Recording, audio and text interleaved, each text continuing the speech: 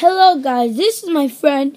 His name is Cuddles, and he's pretty fat, as you can see. Like, he. I wish I could name him Fat Albert, but like, I can't. have you wished there was no homework in the day? I had to write all those pages, pages, pages. Cuddles, what are you doing with that pizza? Get that pizza out. Get that pizza out. So that's my brother with some pizza. You doing? Yeah, Cuddles is three years old, and he is one of my main characters. He has a pretty big head, huh? That's the one with Jeff, Jeffy episode. You know what? Can you stop eating? Can you please stop eating pizza and smacking in my face? What you doing? My YouTube video, bro.